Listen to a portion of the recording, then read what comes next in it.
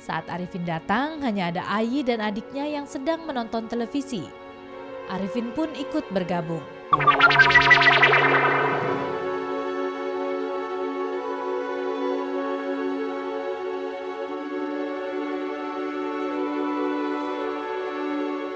Maini masih menyimpan dendam di hatinya.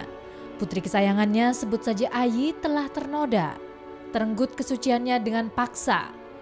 Dan yang lebih menyakitkan, pelaku yang menodai putrinya adalah orang yang sangat ia percaya. Orang dekat yang sudah Maini kenal dan bahkan ia anggap sebagai saudara.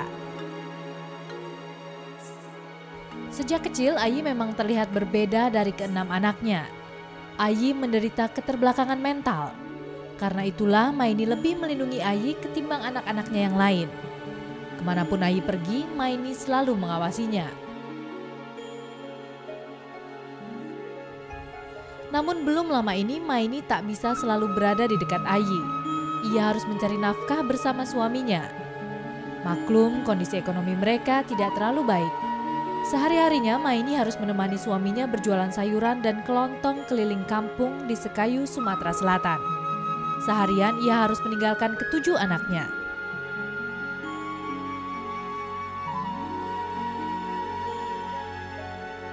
Demi keselamatan dan keamanan anak-anaknya, Maini menitipkan mereka pada tetangga sebelah rumah. Seorang bapak enam anak, sebut saja Arifin. Selain sebagai petani, Arifin juga terkenal sebagai pengumandang azan di musola kampung. Ia juga rajin berkeliling mengaji di rumah warga sekitar. Karenanya Maini percaya Arifin bisa menjaga ketujuh buah hatinya. Oh, dia orang baik gitu. Pernah sholat terus, azan. Saya kira nggak pernah, nggak akan apa-apa gitu. Sebulan lalu seperti biasa Maini menitipkan anak-anaknya pada Arifin. Saat ia akan pergi berobat bersama suaminya. Saat Arifin datang hanya ada Ayi dan adiknya yang sedang menonton televisi. Arifin pun ikut bergabung.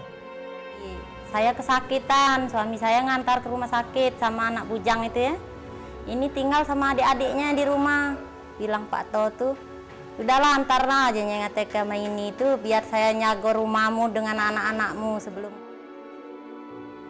Ketika tengah asik menyaksikan acara televisi, tiba-tiba saja baju bagian bawah Ayi tersingkap.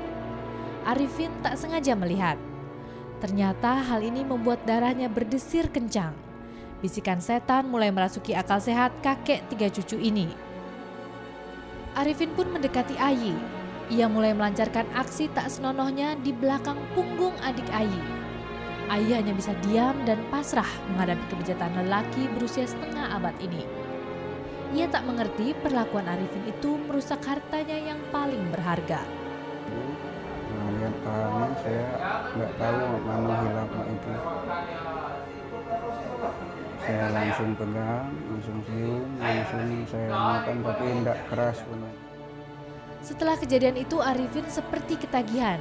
Ia mencoba mencari peluang bagaimana bisa melakukan itu untuk kedua kalinya. Akhirnya saat itu tiba. Maini dan suaminya kembali menitipkan anak-anak mereka kepada Arifin.